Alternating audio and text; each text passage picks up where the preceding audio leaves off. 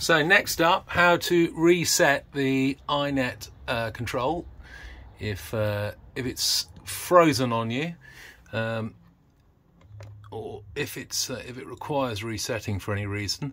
Um, so that's the main home screen. Um, you can dial through using the button. You know you do need to press this button quite firmly and in the middle of it for it to react.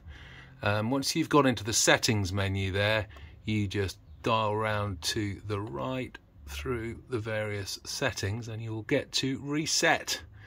And you press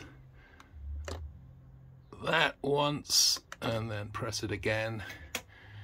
That will, INIT will pop up, INIT. And then it should. Maybe to press it again. No, here it goes. That's it. And now back up onto the home screen again.